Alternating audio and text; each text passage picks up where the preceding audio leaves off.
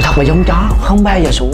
Đây là giống chó Bersinji, thường được gọi là Buckley Dog bởi vì bình thường chúng không sủa, nhưng khi bị kích thích, tiếng sủa của nó phát ra những âm thanh vang dội, trong và vọng nghe rất đáng sợ. Đôi khi chúng cũng tạo ra những âm thanh như loài cáo. Thứ nhất là nguồn gốc. Chó Bersinji là giống chó săn có nguồn gốc từ Trung Phi. Chúng được nuôi để phục vụ việc săn bắn, chỉ đường trong rừng, bảo vệ chủ nuôi khỏi thú dữ. Thứ hai là về ngoại hình. Bersinji có kích thước tương đối nhỏ nhưng lực lưỡng, chiều cao tầm 38 tới 43 cm và cân nặng dao động từ 9 tới 12 kg. Chúng có cơ bắp nở nang và khỏe mạnh, lưng thẳng, đuôi cong cùng tứ chi dài, tai hình chữ V lớn và luôn dựng đứng, trán có nếp nhăn và đôi mắt nhỏ có màu đen đặc trưng. Răng của Bersinji sắc nhọn hình cắt kéo. Thứ ba là màu lông. Dòng chó không sủa này có lông ngắn, trơn và bóng mượt, màu lông đa dạng từ màu đỏ đồng, nâu vàng, đen và vện. Ở chân, ngực và đuôi thường có màu trắng. Thứ tư là tính cách. Basenji vô cùng nhanh nhẹn, cảnh giác, độc lập và thông minh. Tuy nhiên chúng rất khó tính khi tiếp xúc với người lạ, đôi khi lại bướng bỉnh và là một trong những dòng chó khó đào tạo nhất nhì trên thế giới. Thứ năm là tuổi thọ. Basenji có tuổi thọ trung bình từ 10 tới 12 năm tuổi. Thứ sáu là giá bán. Basenji là loài chó khá hiếm trên thị trường Việt Nam và thế giới. Giá nhập khẩu Basenji từ châu Âu dao động từ 2.000 cho tới 3.000 đô.